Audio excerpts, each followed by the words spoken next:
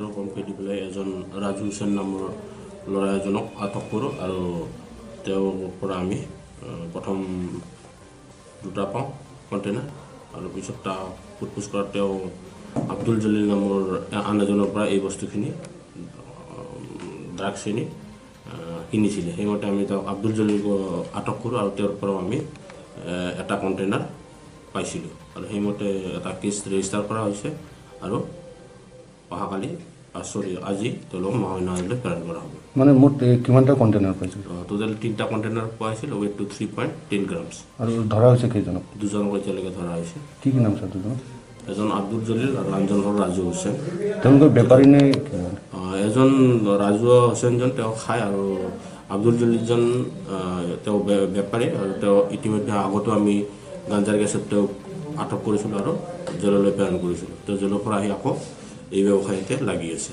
ক'ৰ পৰা দিছে? তেওঁলোকক আমি হোজাই ৰেলগেটৰ এক নম্বৰ ৰেলগেটৰ ওচৰৰ পৰা আটক কৰিছিলোঁ। আপোনাৰ নেতৃত্বত?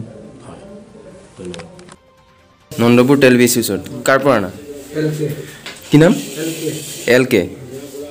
এল কে কি লিখে? কি মানুহ?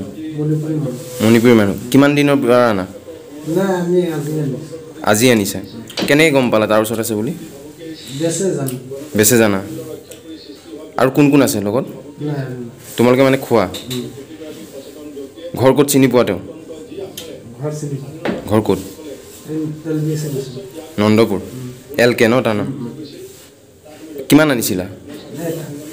এটা। কিমান লৈছিলে? চাৰিশ টকা। লৈছে। এটা ডাব্বা আনিছিলা। তোমালোক দুজনে আছিলানে তোমাৰ নাম কি?